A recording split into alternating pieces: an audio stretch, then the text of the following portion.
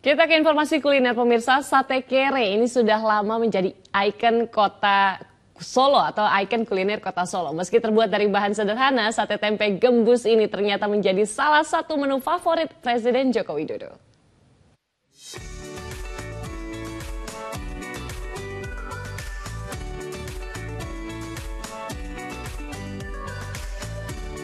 Ini dia sate kere khas Solo. Meski namanya pakai kata kere yang bermakna miskin, berbagai kalangan suka dengan cita rasa sate yang populer di kota Solo ini.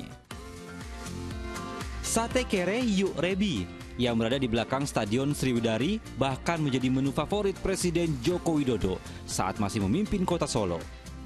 Bukan terbuat dari daging, hidangan ini sesungguhnya adalah tempe gembus yang direndam di dalam bumbu bacem dan dibakar di atas bara api. Makin mantap, sate kere disajikan bersama guyuran sambal kacang bercita rasa manis pedas.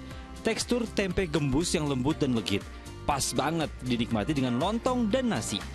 Pertama kali saya nyoba itu uh, sate gembusnya itu.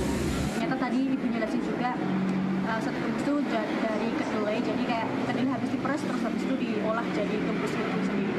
Rasanya enak sih, kayak daging gitu malahan. Jadi lebih berserat dan Sudah berjualan sejak tahun 1965. Ide memakai kacang kedelai sebagai bahan baku sate muncul karena dahulu sate berbahan daging dianggap barang mewah. Tidak hanya sate kere, warung ini juga menyediakan sate dari berbagai jenis jeroan sapi hingga daging sapi. Harga seporsi sate kere bervariasi, mulai Rp25.000 per 10 tusuk.